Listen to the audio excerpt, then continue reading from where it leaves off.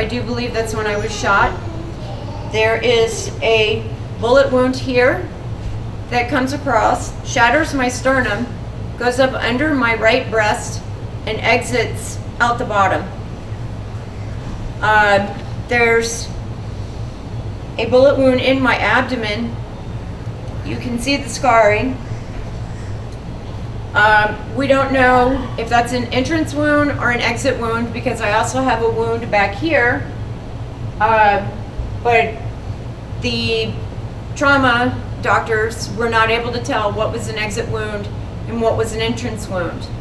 I have another one over on the side that took out chunks of rib in the sixth and seventh rib. You can actually feel where the bones the the bullet took pieces of the bone out. Um, I remember collapsing to the ground and thinking, that's what it feels like to get shot. And I don't remember a whole lot after that. Apparently, according to the medics, I don't know if this is true or not, but they say I woke up in the ambulance telling them I couldn't breathe. Um, in the medical report, it stated that I arrived conscious at the hospital, but I don't remember it.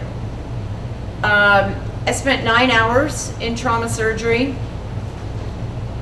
That was my first surgery.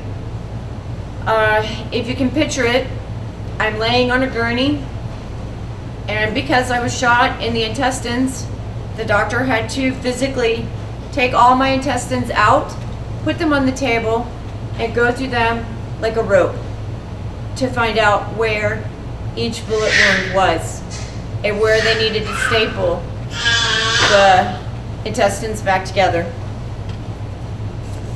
Um,